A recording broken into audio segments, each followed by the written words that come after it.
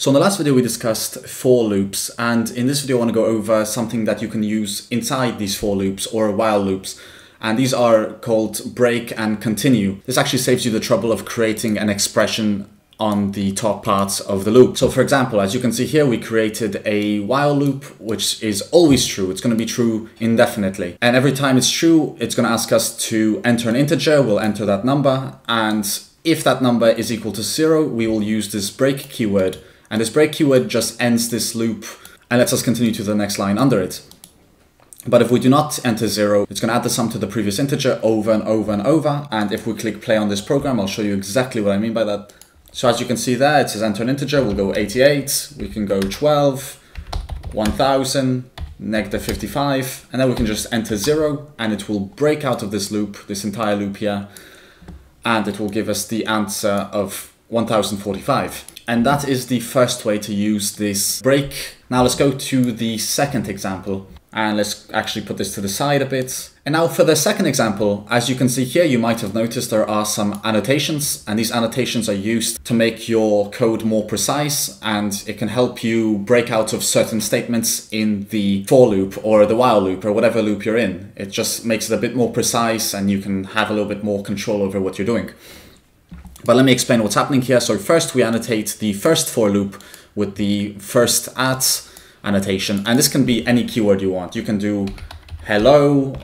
Of course, you need to change all of them to make it work. And essentially that's all you need to do. Just remember that if you want to assign a name to the for loop, you have to write first at, and that will assign the name to this for loop. And then you can call it later by writing break at first. So what's happening here is we have a for loop for one to four, and the first thing that's going to happen is going to print this loop and it's going to print the statement and then it's going to go to the second for loop and it's going to print this second statement and it's going to tell you the value of i and x. So it's going to say i is 1 and then it's going to loop this twice so x is going to go to 2 and once it's terminated with this it's going to check if i is 2 and if i is 2 it's going to break the first statement which is going to break the entire loop. And this is just to become more specific with what you do. You can also do break at seconds, and that will exit out of this second loop and it will continue the first loop.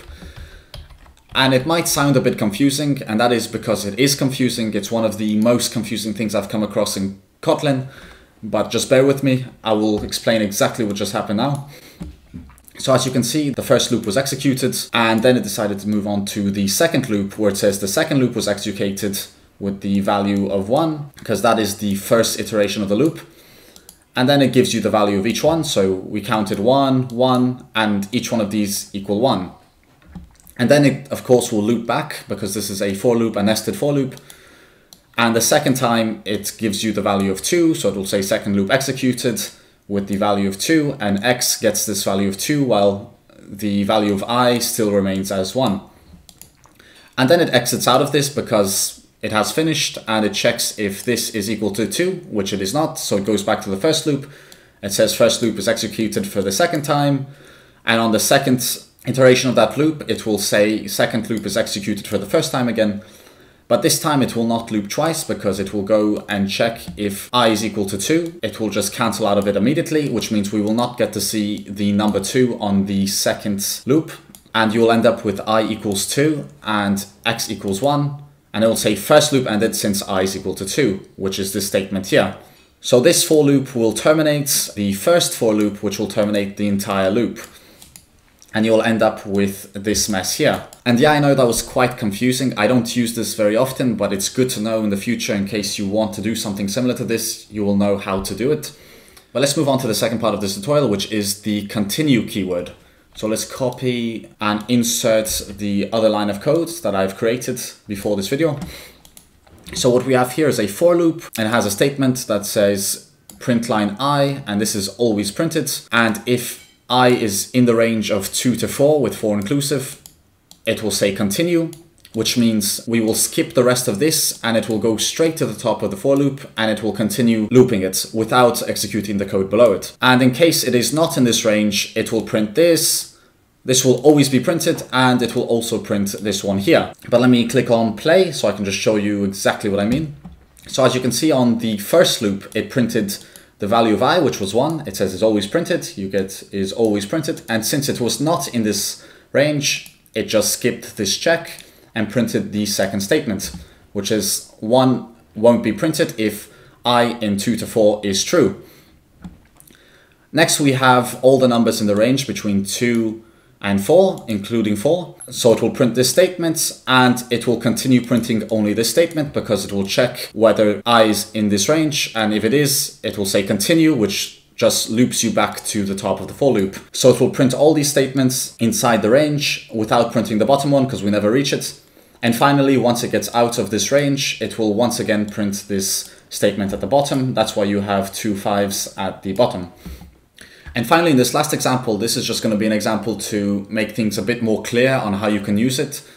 It's nothing complicated. Let me just explain what's going on here real quick. So we have a variable of number of type int, and we have also a variable of sum, which we assigned the value of zero to it. And then we wrote for, for i in one to three, we will print enter an integer, which will take an input of an int, and it will assign that input to this number variable. And if the number is less than or equal to zero, it will not add the number to the sum, which means this is a positive number only addition program and any numbers that are negative or zero will not be added to the total so you can only add positive integers. So let's click on play so I can just show you what I mean. So let's add 10 and then let's add minus 10 and then let's add 30. And the answer to this should be 40 because it's going to ignore the minus 10 completely. And as you can see, we have 40 there. And let's play it one more time. So if I did minus 5, minus 3 and minus 1, we'll have a total of 0 because it ignores all of the negative numbers. And you can also assign these annotations to it, let's say uh, first at 4, and then you can say continue at first. But I find this far too confusing to use in most programs. It takes so much mental effort just to make sure that you can understand what is happening. So I don't recommend it for now, but maybe in the near future you can definitely experiment with that but it should work exactly the same way as when you use the annotations for the break keyword. But other than that, that's actually all I wanted to show you regarding continue and break. If this video was useful, please consider leaving a like. Other than that, uh, I will see you in the next video, and yeah.